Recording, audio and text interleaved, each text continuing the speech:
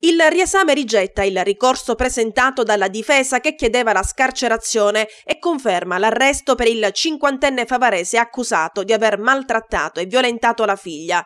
Secondo la difesa c'erano delle lacune, delle contraddizioni nella versione accusatoria e per questo aveva deciso di presentare ricorso.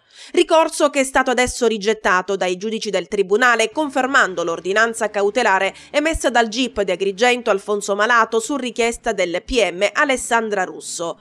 L'uomo venne arrestato dai carabinieri lo scorso 10 gennaio dopo la denuncia della figlia che aveva raccontato episodi raccapriccianti. La donna, dopo la separazione dal marito, era tornata a vivere dal padre insieme ai tre figli. In quel momento, secondo la ricostruzione degli inquirenti, che ha trovato un riscontro nell'ordinanza cautelare in carcere, sarebbe iniziato l'incubo fatto di violenze sessuali, percosse e umiliazioni.